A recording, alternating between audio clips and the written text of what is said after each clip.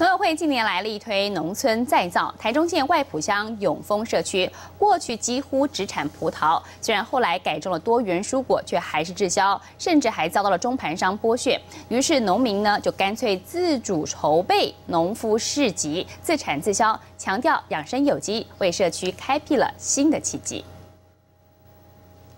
这狗遐种的啦，这可怜，这才无吼！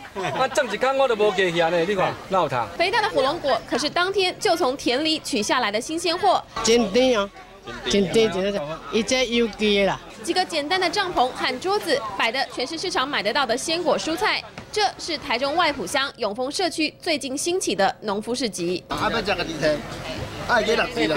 以前在市场摆摊的阿妈，现在也把自家种的菜摆来这里卖，乐活多了。你搞较好呢，来这大家较趣味，安尼较感心。卖讲白色，我有生意人讲趁这个差价啦，吼，量若做先就俗，啊，大家吼辛辛苦去种，结果吼。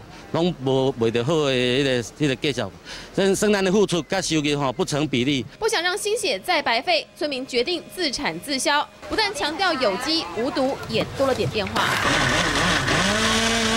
无毒芽菜，健康养生，市场看不到的手工皂、手工艺品，打造农夫市集，拼观光。家己的物件。由社区小农发起筹组，不但活化了当地农产，也为社区发展闯出新路，带来新契机。民事新闻报道。